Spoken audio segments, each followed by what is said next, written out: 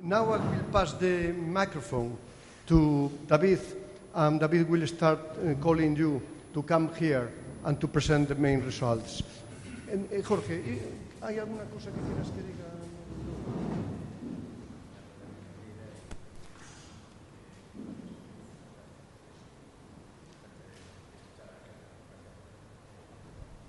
Sorry, but I don't speak English. Eh, eh, solo daros la bienvenida, eh, que aprovechéis estos días y creo que es importante eh, escuchar a la gente, eh, volver a, replantear nuestras profesiones en architect, en- pensando que no sabemos todo, que sin escuchar no seremos nadie y que para poder construir hay que construir siempre con los demás. Solo que aprovechéis este trabajo aquí, todos vosotros, y que sea el principio de una reflexión mucho más profunda que sirva para que la arqueología pueda aportar más a la sociedad. Solo eso. Eh, disfrutar de la ciudad y, y que sea muy interesante la estancia. Rafiñas. Uh, well, uh, Jorge gave um, the welcome all of you to the town, also in the name of the mayor of Santiago, that, who was intended to be here, but at the very end he couldn't for some other compromise. Um, he just mentioned and put emphasis in, one, in something that is quite familiar to all of you already. That is that doesn't matter who we are or doesn't matter what we do. The real matter is that we cannot do anything without talking with the people about what they want to, uh, what they want to be done. Um, so uh, Jorge emphasized very much this idea and also emphasized the idea that as professionals, the first thing that we have to do is to hear, to hear uh, the words from the people to learn new things and to know, to learn knowing how to do with it, how to cope with the things. Well, thank you very much, Jorge, for being here. And David, ah, you are here. Okay, thank you. Well, we have to go fast because I have no time. Uh, well, this is our map. Uh, we will try uh, to have here during these days. Uh, you can add writings in the panels or photo or drawings in the map or in the panels also during these days, okay? But now uh, uh, we have to talk about the walk. Uh, we hope that you have enjoyed the cold walk. And we, um, each group has uh, only five minutes uh, to expose the, the work and your likes or your unlikes are your itinerary, okay? Then the first group, uh, I remember, was the Toural group. Was, uh, yeah? Go. And the winner is. Yeah. Thank you. We uh, Plaza Toural must be. Oh my God. Mm, we went down here. It must be this one. Yeah, yeah, exactly. So uh, our we identified ugly places um, near Plaza Galicia, which is the the place of the bank here, and um, just beyond, and the very modern building near next uh, uh, uh, bus station, and uh, the places. Uh, there was also on Plaza Toural um, a chocolate shop that we didn't like because it was very touristy, but at, at the same time we loved the place itself and uh, the building across here uh, with the balconies. And um, uh, when we went in our quarter, didn't uh, identify any signs that uh, I uh, said that is World Heritage here or what is the history of these buildings. Uh, but I, we know that uh, in other places of the town there are many signs, and we are not necessarily want that there are also signs in this quarter, but we could imagine that an app would help to inform about the history. Um, the most interesting for us was the combination of heritage and real life taking place, especially in Plaza uh, Toural, where we could see a supermarket uh, next to the very nice uh, buildings. Um, what um, we, we would, what we would change is um, that uh, reg- the regulations that obviously keep the, the face of the village uh, uh, of the of the uh, would would stay in place, but also allow real life uh, to happen happen there. Um, archaeology uh, could contribute to show what is behind the town we, we see, what is underneath the town, uh, what was before that. And um, also, archaeology could contribute um, to engage with the different stakeholders here in town and could engage in educational programs with schools and other places. Thanks. Thank you, Sophie.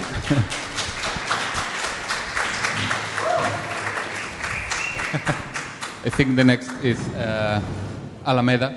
No? Yeah. Delia?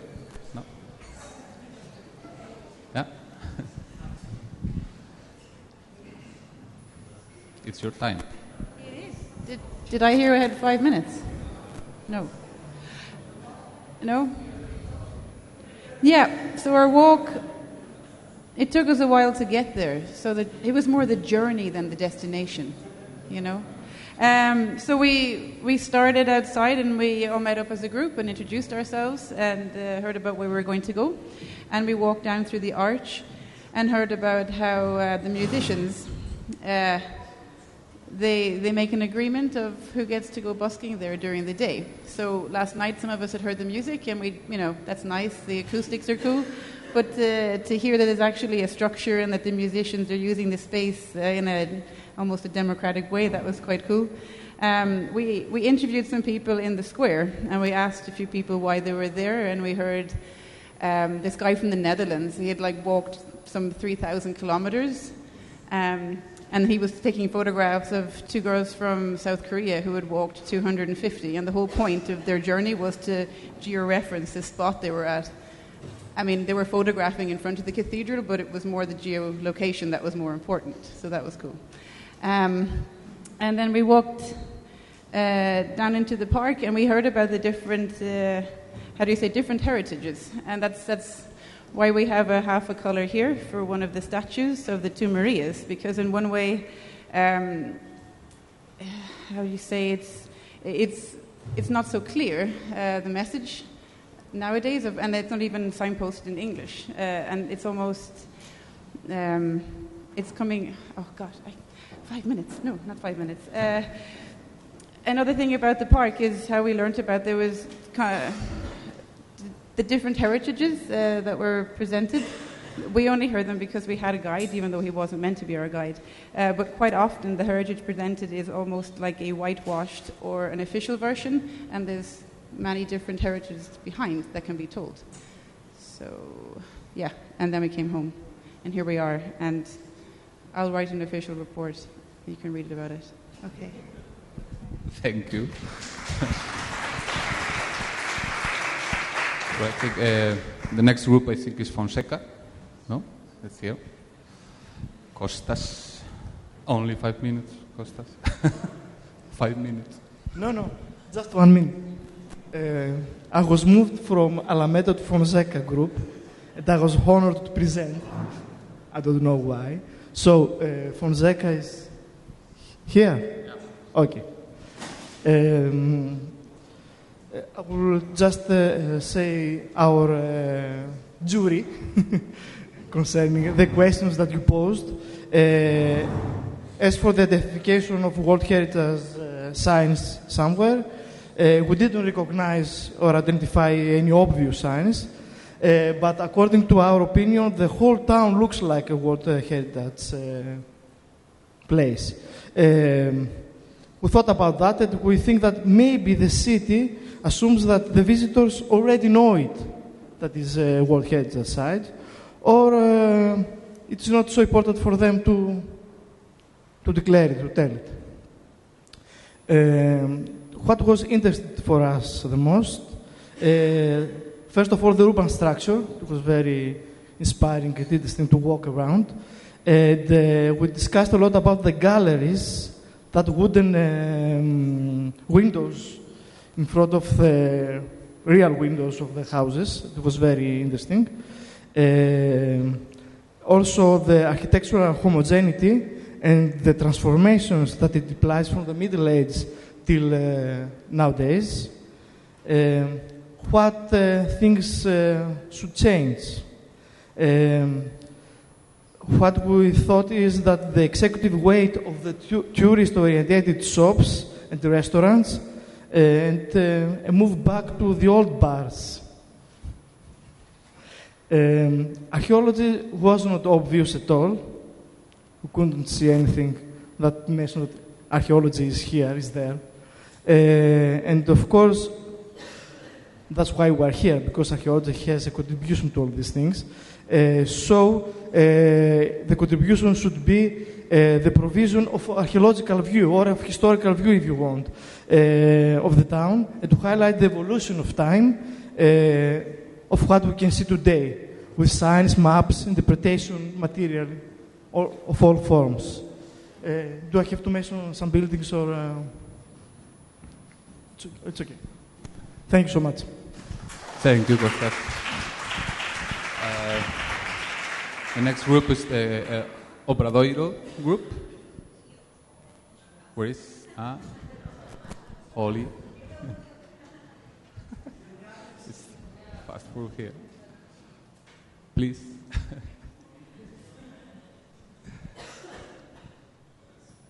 Thank you, Holly. Thank you. Uh, so we were in the general vicinity of the cathedral. So we tried to not only walk around in the area of the cathedral and look at the sort of monumental buildings there, but go down some of the close by residential streets as well as sort of a, an alley um, to try and get a sense of what the neighborhood is like altogether a little bit. So, um, where we felt we could see the World Heritage obviously was the cathedral, the city council building, and the uh, hotel, um, and also potentially in some of the facades on De La Horta Street, uh, because they seemed very uniform, so we thought they were probably under some kind of planning protection. Um, what interested us the most was the use of urban space. So you've got these very monumental, important buildings next to uh, small residences and uh, urban gardens. Um, so what we would change, and this list went on for a while, um, there was a there was a real tension between obviously wanting some kind of interpretive help for people visiting the sites, but at the same time not necessarily wanting to uh, mar the visual experience of the, uh, especially kind of the more his, uh, uh, significant sites. Um, so there were ideas about having historical photos to give some kind of uh, context for how things had changed and text, um, sort of the typical things that you would expect, but because of that tension, we talked a little bit about how you could potentially use technology.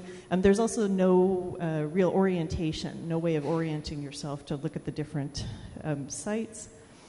Um, the um, what was really interesting is that the, the very central area seems quite uh, it's not there's not a lot of vitality and there don't seem to be much in the way of amenities for residents so um, we really so they're, they're the historical sites, but and they're restaurants, but there's no place to buy bread.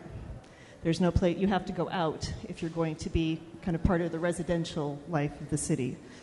Um, so uh, we were looking also at accessibility. What happens if you're a person with a disability and you're trying to look, uh, trying to see the sites, uh, and but just a complete kind of lack of mixed use, essentially. Um, so, what archaeology contributed to, there was nothing that we could actually observe. We did try and think of some things, but we couldn't really observe anything. Um, the ways that archaeology could contribute were, uh, as you would expect from a group of archaeologists, there was lots of talk about trying to, discussion about how to uh, show the chronological development. Um, have some kind of multi temporal perspective, ways of con- uh, conveying uncertainty. Um, but one of, the, one of Anna's really interesting ideas was about is there some way that we could build some kind of archaeological narrative about the city that was centered on a path uh, rather than focusing just on the buildings? uh, embracing the idea of pilgrimage in the city. So I'll leave it at that. Thank you, Holly. Uh, I think the next group is uh, Immaculada. No? Uh, Sarah?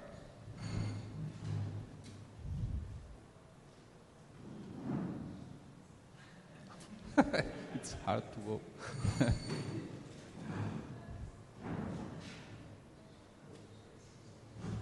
Thank you. That's quite a nice example of uh, how I've found going about the city. I get lost. Uh, I, I, take little uh, alleyways and think I'm going to get somewhere, and I don't.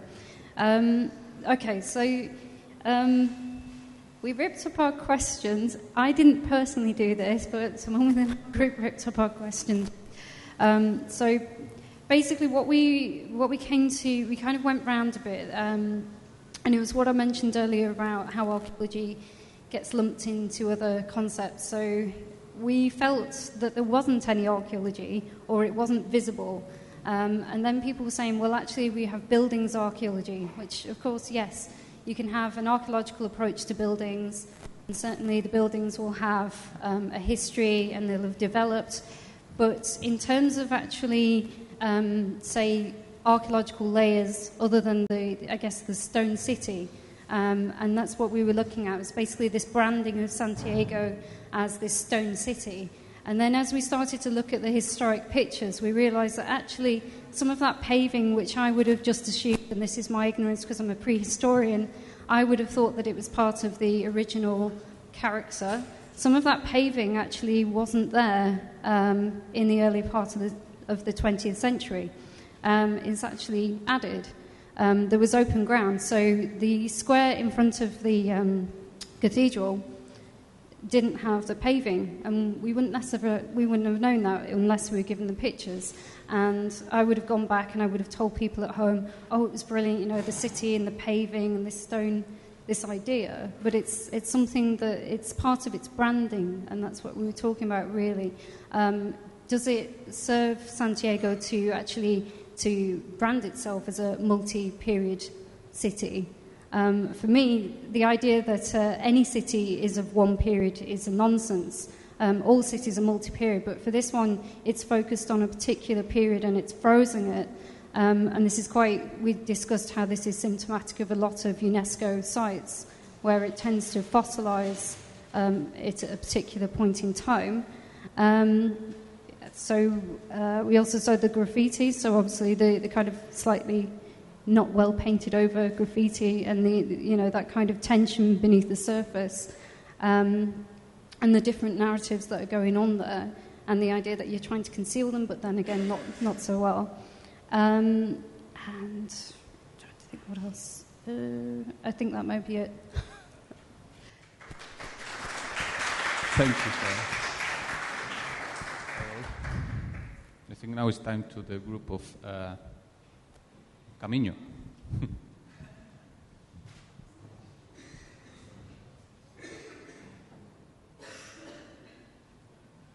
Thank you, Mustafa. Thank you. So, as a group, we walked around the area called uh, Camino. This is rather a small area which consists of this particular boundary here. So what we realized or observed, let's say, experienced, that it, the area has um, quite potential for characterized with, by um, public quasi-green green spaces and uh, contemporary and modern architecture in contrast to the architectural language of the old town. So the area is towards a little bit of the edge of the um, town. So in terms of what we liked or uh, disliked, we thought um, the particularly the green spaces has have uh, much more potential to show and to be part of the uh, town. Because as you can see it's quite dense uh, uh, planning in the old town. And these are one of the few at least the first when you go towards north one of the few um, more breeding rooms and um, green areas, which could be much more integrated within the town and um, have much more potential to work on. Particularly, we didn't like um, the modern intervention here, which was a bus garage, we believe, part of a school there. But we particularly like the contrast of a contemporary architecture of the, the contemporary art museum here, and the contrast with the uh, older language of the build, architectural language of, uh, of the building just behind it.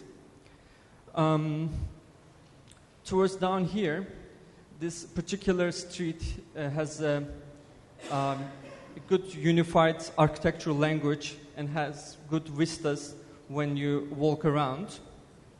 And coming down here, uh, there were a bit of a divided little public spaces in which one of them uh, there was a message written on the ground as a, about a European identity, which we thought was a good intervention in the um, town's urban planning. Um, what we realized is that, um, as I emphasized again, that there was a uh, good potential of public spaces which is not particularly used. This is also, I believe, we believe, um, due to the uh, season of the year when um, during more warmer days in summer there was much more participation in the public spaces with um, temporary markets. But in, during winter we don't really see it and the squares leave a bit of an empty space without really many people around. Um, but apart from that particularly in terms of the contemporary architecture, this area has the potential to add a different layer in the town's um, heritage, which sort of focuses on a particular period and particular architectural language. But this is a great potential to um, differentiate different time periods and um, architectural um, styles within the town. And with that note, Thank you, Mustafa. And the last group is uh, the group of Cervantes. Ah, San Roque, Sarroque. I'm sorry. it's not the last. I will explain the way, and he will explain the answer the questions. So we started um, there, then we went to the to the forbidden place. you have to go through a, a really bad gate, which is closing all the time. So we dislike this place. I, we like, I mean, we like the, the, the garden, but not the, the gate. And then we went to a really nice garden here. We went to up there. We had a really nice site on the cloister and also on the countryside. I really appreciate it. I think you too. then we went down. We stopped in front of the Casa Ocupada uh, squat. It was also nice. We liked the place. And then we went to the Cervantes Plaza. Um, yeah, we went through the through there. We came back here, and we went back to the Nearching factory. And ah, no, we went to. Uh, I was forgetting the most important part. We went to a bar to get to know each other a little bit better. That was the point. That was the instructions. So we did it. And it was a really, really nice bar here. We appreciate it too. ¿Cómo? Camalea Bar. Sí. Tú te vas. Okay, um, I'm going to answer the question that we had. Um, uh, there were no people, just the bartender at the Camalea bar. Uh, she was very nice with us, so and also the coffee and the chocolate. Uh, you should know. Uh, we have sorted the people that we have seen in inhabitants and and tourists. Uh, we saw one pilgrim. Yeah. yeah, we saw one pilgrim. Yeah. a, a hippie one pilgrim. and also there were some, um, uh, it's not right, but uh, uh, misfits, uh, some misfits. That's bad, but uh, well, they were there. Uh, also, uh, we found a, link with the archaeology and the present. We, we, could, we could read the stone over, over you are walking on. It is like a, a thousand years old, so uh, you have to preserve it. Um, what more? Uh, well, we saw the UNESCO sign, and it was good to see it, and that's all. Uh, Sorry about my English. and yeah.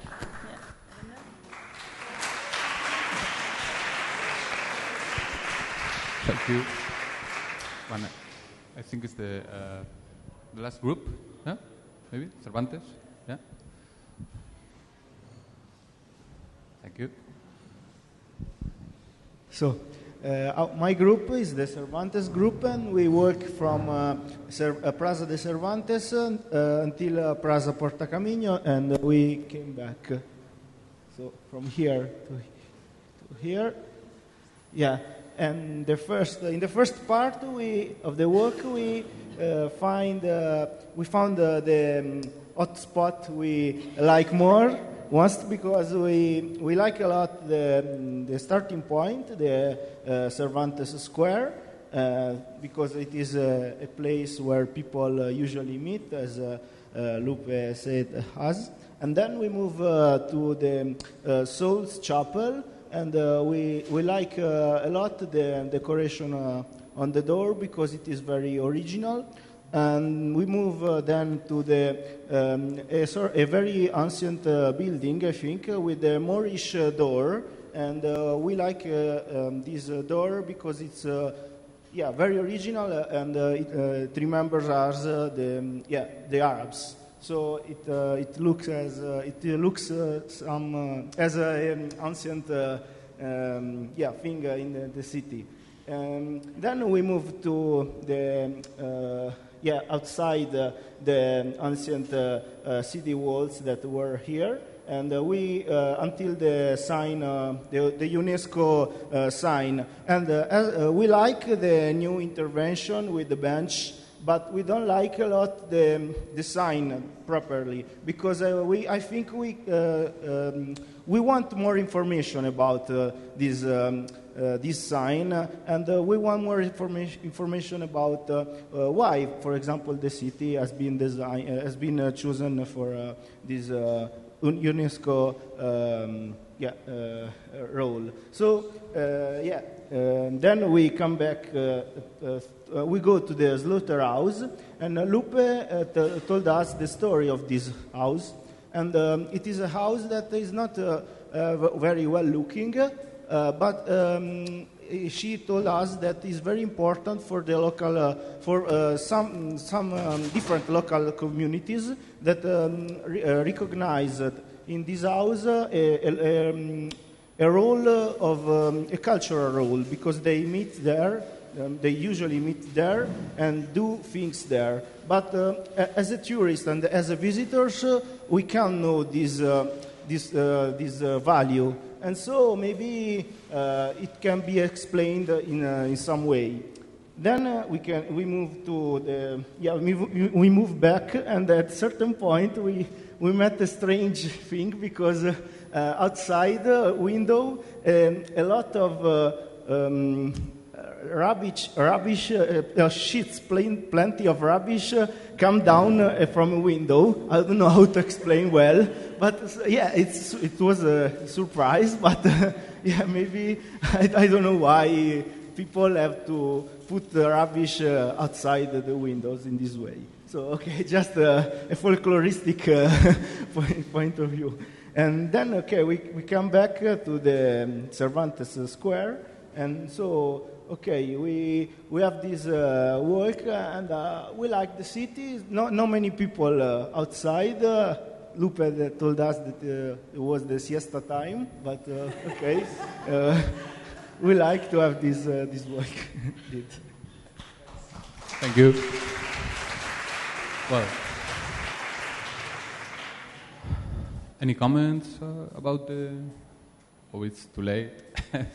it's too late. Well, it's time to finish now. Then, uh, well, don't forget that we have the map during these days and the panels for to follow, to fill, and uh, well, we hope that you have. Sorry. Yeah. We hope you have uh, enjoyed the activity. Thank you, everybody, for participating. Thank you, Alicia, for the work behind the activity. And see you tomorrow. We have to work. Thank you.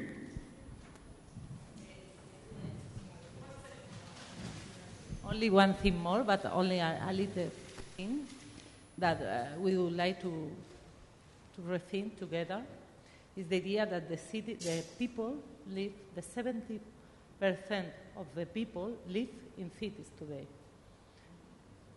Cities today, in towns, small, big towns, and I think archaeologists work a little in the city.